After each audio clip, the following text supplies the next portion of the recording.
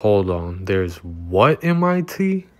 According to a recent study, each cup of tea produced by one plastic tea bag steeped at brewing temperature included roughly 11.6 billion microplastics and 3.1 billion nanoplastics. Also, from brain tissue samples collected in 2024 from 24 people contained a median of 4.9 milligrams of micro and nanoplastics per gram of tissue. Scaled up, that would mean an average brain contains a plastic spoon's worth worth of microplastics. That is insane. We must be more aware of what we put into our bodies. You want to avoid these tea bags at all costs as they can leach out billions of microplastics into your cup of tea. Instead, go for an organic loose leaf tea. This way you ensure that you are limiting your exposure to microplastics. A great way that you can steep your loose leaf tea is using the stainless steel steeper. This is an excellent, safe, and effective method to use and avoid harmful exposure to toxic heavy metals and microplastics.